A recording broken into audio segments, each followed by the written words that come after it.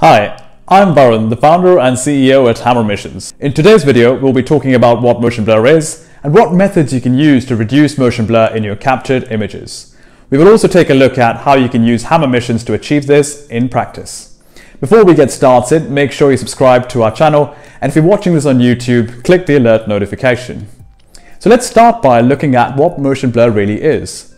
Motion blur can be seen in photographs, films, or animations when moving objects in the scene appear to be streaked.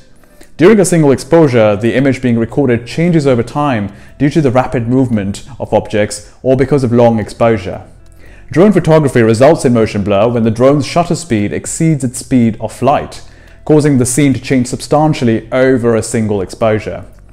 Even if you can't completely eliminate motion blur during a mapping or a 3D modeling mission, you can always reduce it for better post-processing. Let's break it down, shall we? So motion blur, in practical terms, is essentially the product of camera shutter and the drone speed. That is, the distance traveled by the drone's camera over a single exposure. It is recommended that your motion blur should not be greater than 1 times your ground sampling GSD, ground sampling distance, uh, in which the GSD is essentially the distance the, on the ground between every two adjacent pixels in the image.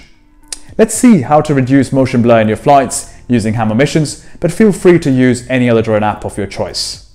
To begin, we will create a mapping or a 3D modeling mission in Hammer. Then you must connect the drone to Hammer Missions. Once this is done, we will open the mini video screen, tap on it, and enter the video view. The next step is to open the camera settings by clicking on the gear icon located at the top right of the screen and adjust the camera settings based on the lighting conditions. After we've done this, we will return to the original mapping settings screen and you'll be able to see a small motion blur calculator right next to the computer GSD. Note, Hammer warns you of the motion blur exceeding two times your mission's GSD if, if in fact uh, your mission is, if your motion blur is in fact um, exceeding the GSD by two times.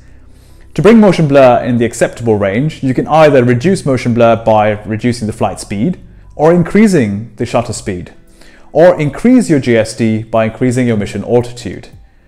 To completely eliminate motion blur, we recommend using the inspection mode in Hammer missions, in which Hammer makes the drone stop at every point before taking picture, allowing for crystal clear pictures devoid of motion blur. Please share the, if you found this video useful. Don't forget to like, subscribe, share and check out more of our content. Thanks so much for watching and we'll see you in the next episode of Hammer Hub.